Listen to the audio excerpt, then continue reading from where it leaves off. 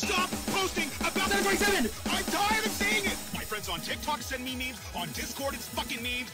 I was in a server, right?